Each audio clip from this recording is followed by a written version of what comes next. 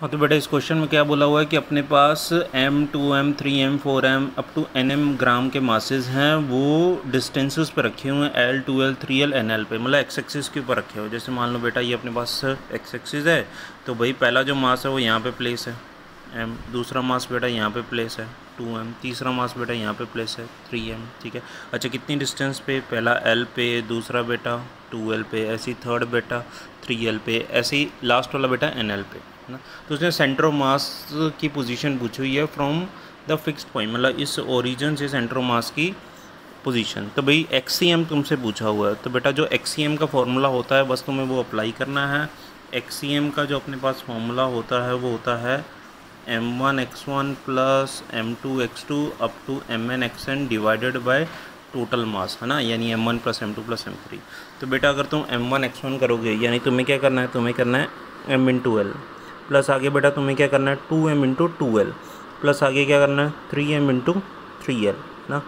Up to N तक। और यहाँ पे बेटा क्या लिखोगे? यहाँ पे M plus two M plus three M up to N तक, ठीक है? तो भाई अगर तुम इसको सॉल्व करो एम से एम तो बेटा कैंसिल आउट ही हो जाएगा ना?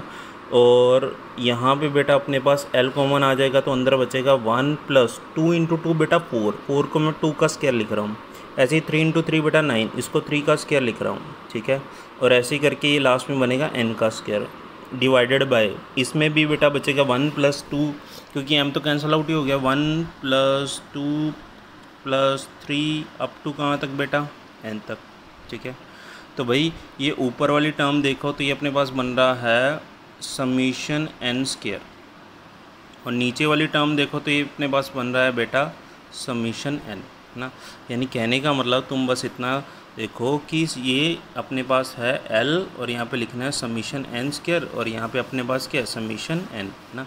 अब एन स्केयर का तुम्हें फॉर्मूला पता होना चाहिए बेटा मॉडर्न फिजिक्स वगैरह में इसको पढ़ाया जाता है है ना?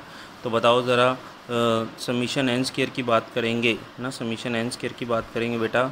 तो यहाँ पे हम लिखते हैं एन एन प्लस वन साथ में two N plus one divided by six और यहाँ पे क्या होता है? यहाँ पे होता है N N plus one divided by two है ना? भी कितनी लाइनें अगर इलेक्ट्रॉन जब मारता है तो कितनी लाइनें आएँगी तो ये उसके फॉर्मूले हम इस वाले चैप्टर में सीखते हैं। तो बेटा यहाँ से एन से एन कट जाएगा एन प्लस वन से एन प्लस वन कट जाएगा एल बेटा साथ में चल ही रहा है। तो भाई सॉल्व करने के बाद ये अपने पास जो तो फाइनल आंसर बचेगा, ये बचेगा टू एन प्लस वन ठीक है? डिवाइडेड बाई थ्री साथ में एल तो इसका मतलब बेटा अपने पास कौन सा आंसर जो है वो सही होगा? अपने पास फ़र्स्ट ऑप्शन जो है वो बेटा सही होगा।